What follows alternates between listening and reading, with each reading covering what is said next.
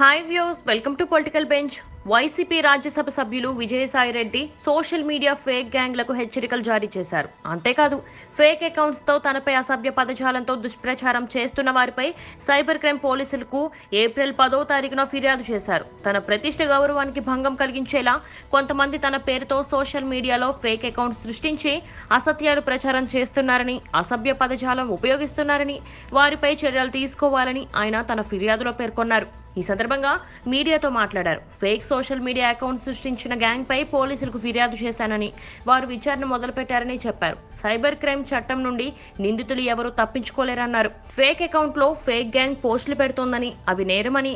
దాంతోపాటు ఈ fake gang పోస్టులను షేర్ చేసిన వాళ్ళు కూడా సైబర్ క్రైమ్ చట్టం కింద శిక్షార్హులే అవుతారన్నారు. ఫేక్ గ్యాంగ్ ప్రపంచంలో ఎక్కడున్నా ఏ రాష్ట్రంలో ఉన్నా పోలీసులకు చిక్కడం ఖాయమన్నారు.